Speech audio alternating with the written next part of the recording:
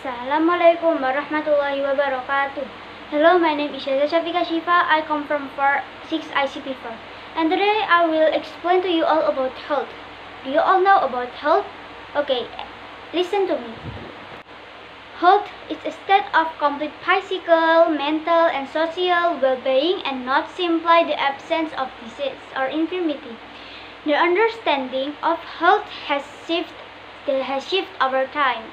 The development of digital-based health technology was made, uh, was made it possible for everyone to study and assess themselves and to actively participate in the health promotion movement. Various social factors influence health conditions such as individual behavior, social conditions, genetic and biology, health care, and the physical environment. The meaning of health has evolved over time. In the perspective of the biomedical model, the initial definition of health focused on the body's ability to function.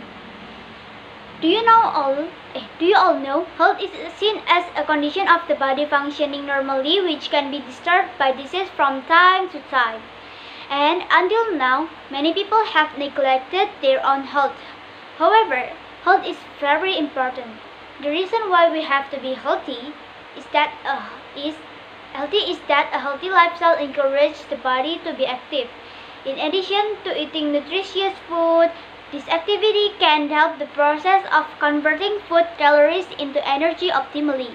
In addition, exercise will also make physical strength stronger and healthier. While the other reason is that we are free from various symptoms of disease.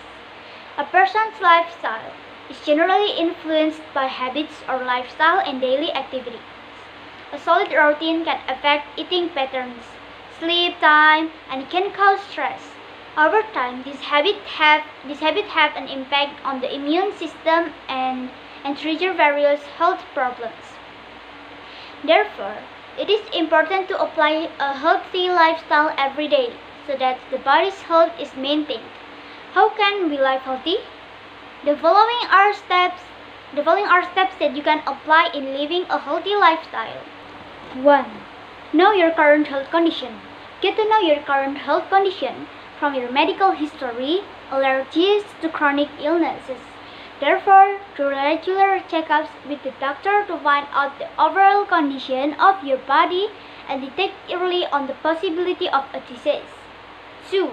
Do bicycle activity. Look back at your daily routine. Is your activity only dominated by sitting and typing on the computer all day? If so, it means you are less active. 3. Record the food consumed. If you have weight problems or unhealthy eating habits, you can record the food you eat every day. This note is useful for controlling food intake and as a reminder, so can reduce consumption to maintain a healthier body.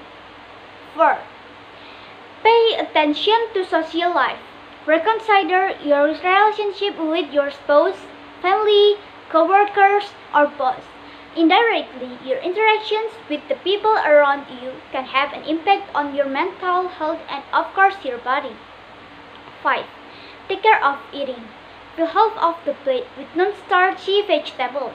Non-starchy vegetables include spinach and other dark green leafy vegetables, such as carrots, broccoli, and cauliflower. 6. Avoid sugary sodas. If you want to be healthier, Try to avoid sugary drinks. Sugary drinks do not contain essential nutrients and are loaded with sugar. 7. Sport, sports using muscles is essential for optimal health. Although lifting weights and exercising can help a person look better. 8. 8. Avoid stress, traffic, avoid stress. Traffic jams on the roads, stifling tasks or work deadlines, like finances, strength, love, relationship, and various other life support will certainly make you stressed. When you feel stressed, all the system of your body will respond in different ways. Chronic stress can chronic stress can have an impact on your, your on your overall health. So therefore, try as much as possible to reduce or even avoid everything that can make you stressed. So, those are the things you need to know about health. I hope it can help you. Wassalamualaikum warahmatullahi wabarakatuh.